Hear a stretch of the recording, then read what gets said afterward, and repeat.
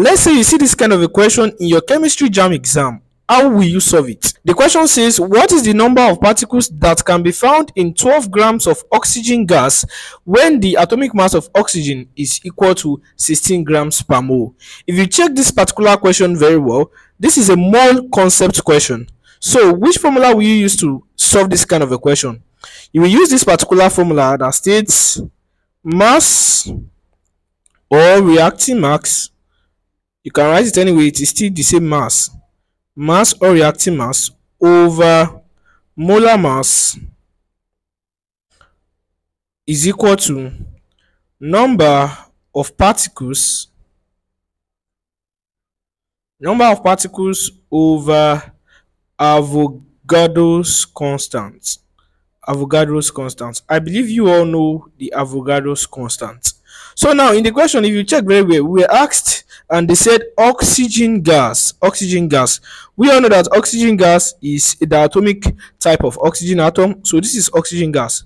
So now we are given the molar mass or we are given the atomic mass of oxygen oxygen atom to be 16 grams per mole. So the molecular mass of oxygen gas is going to be 16 times 2 which is going to be 32 grams per mole. So that's what we are going to be used as our molar mass in this particular question.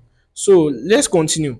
So what is the mass? The mass is 12 grams. So we are going to be putting this in what we are going to be solving. So the mass is 12 grams.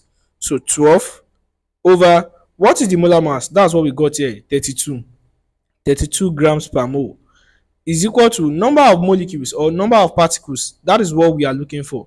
So that was represented with x all over what is Avogadro's constant? Avogadro's constant is 6.02 times 10 raised power 23.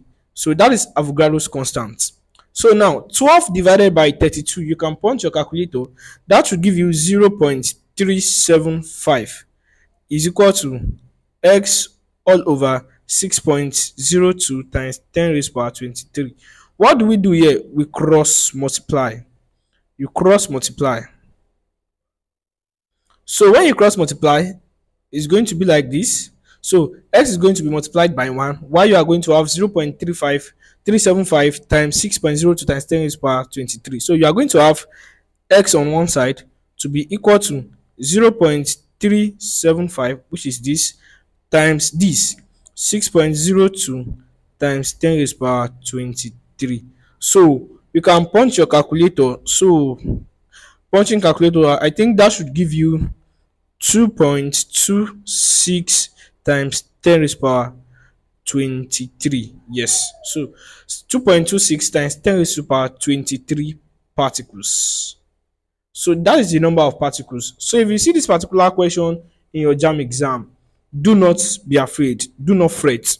Solve it this way and you will get your answer correctly do well to follow us for more contents like this. See you in the next one.